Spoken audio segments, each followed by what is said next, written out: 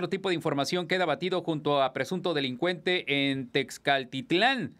Allá en el Estado de México, las autoridades señalaron que un médico veterinario especialista en la especie e integrante de la Facultad de Veterinaria y, Zootecnia eh, realizará la necropsia al mono araña. ¿Qué andaba haciendo ahí con el pistolero este mono? El mono araña que aparece eh, en el pecho de uno de los presuntos delincuentes abatidos. Así era la mascota de uno de los integrantes de la familia michoacana que murieron en el Estado de México. En el noticiero a nivel nacional se dio a conocer que el primate y otras mascotas del mismo tipo fueron la clave para dar con este grupo criminal que ha participado en emboscadas y actos delictivos al sur del Estado de México, según la Fiscalía Estatal. Ayer circuló la imagen que por un momento se creyó que era un montaje o fake news, mostrando el mono araña en el pecho de un sicario abatido en Texcaltitlán.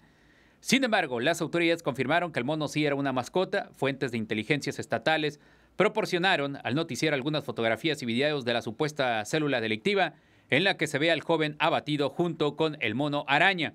El hombre joven formaba parte del equipo de seguridad del líder regional de la familia michoacana, quien por cierto huyó tras el operativo. El jefe de seguridad era conocido como el gorila y habría sido detenido momento más tarde. Son las 8 de la mañana con 44.